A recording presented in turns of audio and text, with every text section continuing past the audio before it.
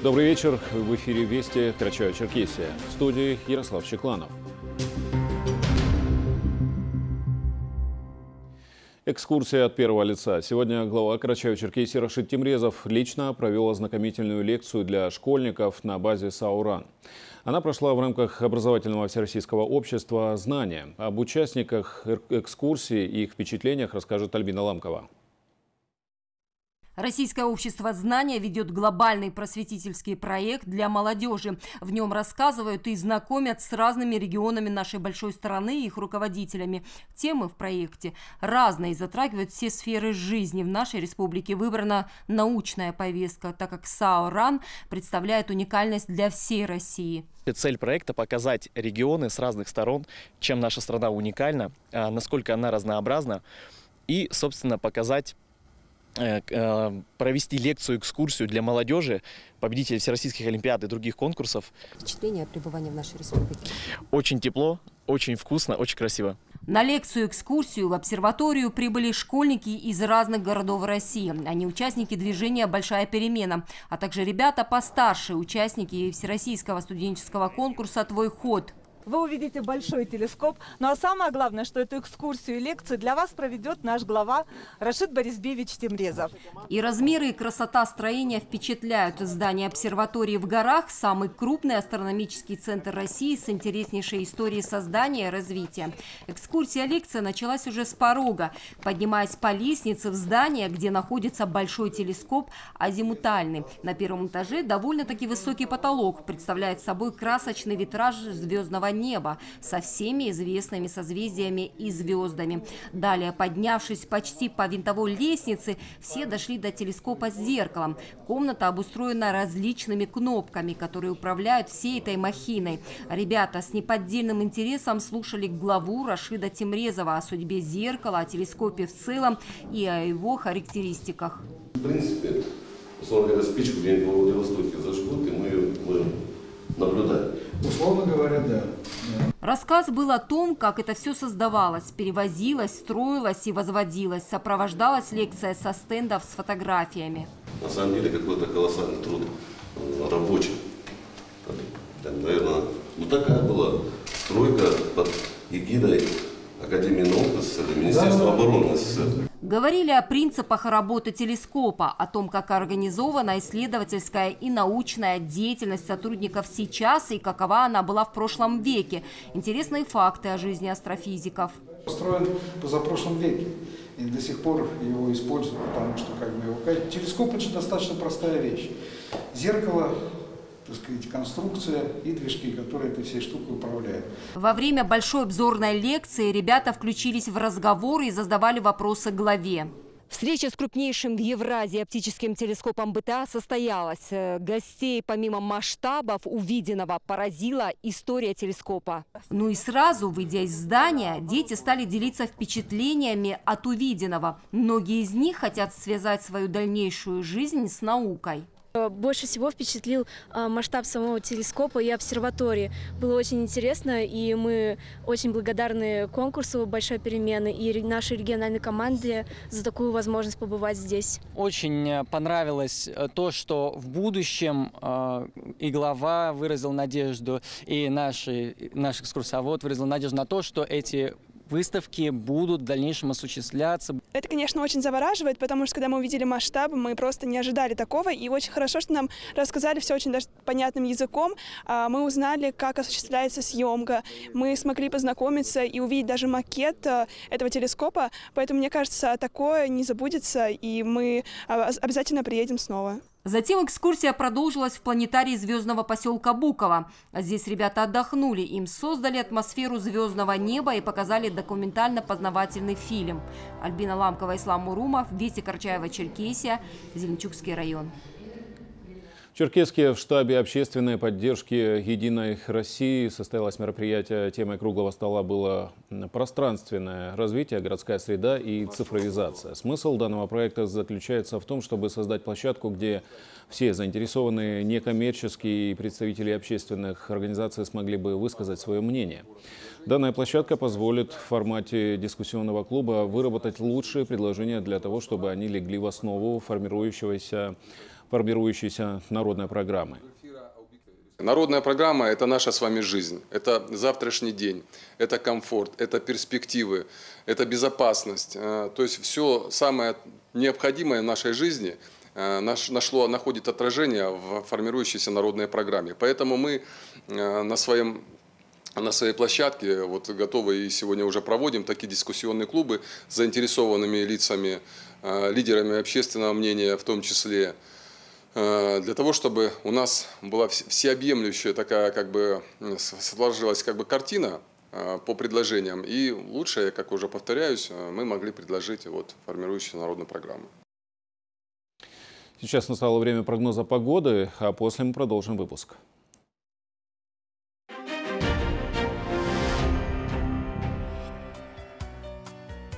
По Карчаево-Черкесии кратковременный дождь, гроза. В отдельных районах сильный дождь в сочетании с грозой, градом и шквалом 20-25 метров в секунду. Ветер северо-западный 5-10 метров в секунду. Температура воздуха ночью плюс 14, плюс 19, в горах местами плюс 8, плюс 13. Днем плюс 25, плюс 30, в горах местами плюс 17, плюс 22 градусов. Черкесский кратковременный дождь, гроза, ветер северо-западный 5-10 метров в секунду. Температура воздуха ночью плюс 17, плюс 19, днем плюс 28, плюс 30 градусов.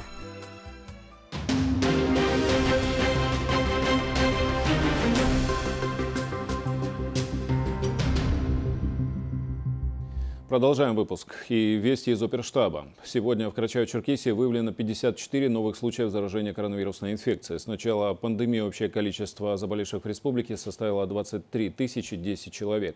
Из них 20 тысяч 903 выздоровели, 727 человек госпитализированы. Вакцинироваться или нет людям с онкозаболеваниями? Ответ на этот вопрос дала заведующая поликлиникой Республиканского онкологического диспансера Лина Алиева. Она рассказала, что на сегодняшний день в Черкеске 777 больных сделали прививки от COVID-19.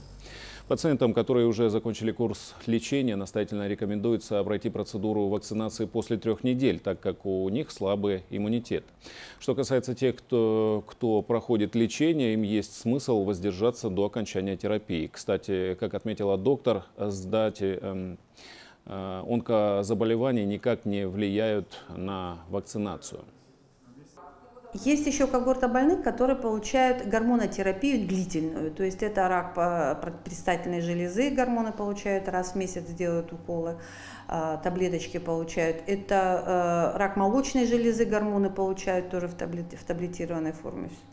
Они могут сделать спокойно э, между, между своими уколами эту вакцинацию и ревакцинацию пройти. Есть пласт больных, которые есть смысл сделать вакцинацию. Это 4 тысячи с лишним человек, которые Э, уже закончили активное лечение, им можно сделать э, вакцину. И в основной своей массе все вакцины достаточно хорошо переносятся. Самое главное, что мы говорим о тяжелых вакцинальных реакциях. В основной своей массе именно тяжелых вакцинальных реакций нет. Ну, это та же самая температура. Редко, правда, у кого бывает, но бывает температура и высокая. В течение двух-трех дней, допустим, может э, температура быть какая-то ломота, слабость, вялость, какие-то общие такое недомогание. Все это в течение двух-трех дней обычно это все проходит. Наступил август, а вместе с ним и цветение самого нелюбимого для аллергиков сорняка амброзии. С каждым годом количество больных становится больше, мучаются от этой напасти даже маленькие дети. Как бороться с недугом, узнавала наша съемочная группа. Альвина Курачинова-Кенжева. Подробнее. Ежегодно число аллергиков растет. Горожане поделились своими симптомами. Заложенность, глаза чешутся, горло чешется. А, отекаю ужасно. А когда проходит все это? Ближе к октябрю. У моей подруги аллергия. Она каждый раз ходит в маске или же уезжает на каникулах куда-либо. А куда уезжает? Где спасается? В Донбайе, в Архыз. Меня, слава богу, нет, но мама мучает. Вот как начинается цветение, у нее сразу и одышка начинается, и дышать не может. Из дома выходить не может. За помощью в этом вопросе мы обратились к заслуженному врачу республики, профессионалу своего дела, к педиатру-инфекционисту, аллергологу, иммунологу и неонатологу Ирине Ибрагимовне Узденовой. Мы живем в прекрасном месте, самое красивое место на Земле, да? Северный Кавказ, юг России, но вместе с тем, наверное, может быть, и в связи с изменениями климата, да, у нас растет сорная растительность, и особенно амброзия, которая является бичом для аллергиков. Вот. И сейчас активный сезон пыления, потому что стоит сухая жаркая погода. Были дожди да, весенние, очень буйно разрослась амброзия и другие сорные травы. И, конечно, вот сейчас активный сезон пыления да, сорных трав, и в частности амброзия, полынь зацветает. Доктор говорит, обезопасить себя и своих близких можно заранее распланировав свой отпуск. Поездка в наши живописные края, Тиберду, Донбай и Архыз, станет спасением для людей, страдающих от аллергии. Ведь именно там этот сорняк не растет, а горный прохладный воздух очистит организм от нагрузки лекарственных препаратов. Ну а тем, у кого нет возможности выезжать, врач советует следующее – очень хорошо э, помогает ношение обыкновенных медицинских масок. Маски можно сшить самим, да, из хлопковой ткани или покупайте готовые одноразовые маски. Есть современные препараты, солевые растворы, которые вводятся в полость носа и там 3-4 раза в день просто это элементарное смывание пыльцы со слизистой носа. Ну, самый обычный препарат, который не требует э, э, назначения врача, но это не реклама, конечно же, аквамарис сектаин. Он недорогой по цене, он вводится от 2 до 4 раз в сутки. Э, или есть другие препараты, да, других производителей, которые вводятся в каждую ноздрю по одному-два впрыскивания, и там создается пленочка такая, как бы защитная, и э, в итоге меньшее количество аллергенов попадает в кровь к нам. Также необходимо ограничивать пребывание на улице утром и вечером в часы цветения сорняков, выполнять ежедневную влажную уборку, промывать москитные сетки на окнах. Ирина Ибрагимовна призывает также самим на своих придворовых участках вести борьбу с сорняком задолго до начала его цветения. Ни в коем случае не заниматься самодиагностикой и самолечением, а обращаться за помощью к специалистам. Альбина Курачинова, Кенджи Валибастанов, Вести, Карачаева-Черкесия. В Набае прошли альпинистскую подготовку участники проекта в связке. Данный проект посвящен восстановлению культуры горных восхождений, заложенных еще в советское время. Он направлен на возрождение отечественной школы альпинизма, которая подарила миру большое количество именитых мастеров. Подробности узнаем в репортаже Аслана Гирюгова. Участие в альпинистской подготовке приняли около 30 человек. Ими стали члены клуба «Штурм» из Санкт-Петербурга. Альп-сборы проходили с 20 июля на базе комплекса «Старый Домбай». За это время участники проекта в связке прошли акклиматизацию и нашли забытые маршруты советских альпинистов. Организаторы отметили, что у данного проекта много задач, основными из которых является возрождение школы альпинистских восхождений, которая была в Советском Союзе. Кроме этого, они хотят популяризировать данный вид спорта и привлечь к нему как можно больше людей.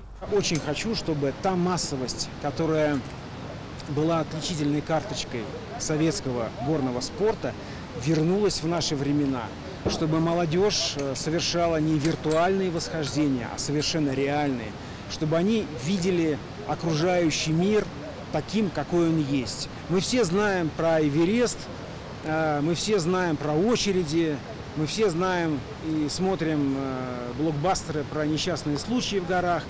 А я хочу показать горы привлекательными, интересными, серьезными, красивыми, такими, в которые хочется ходить. Для участников проекта был создан импровизированный лагерь.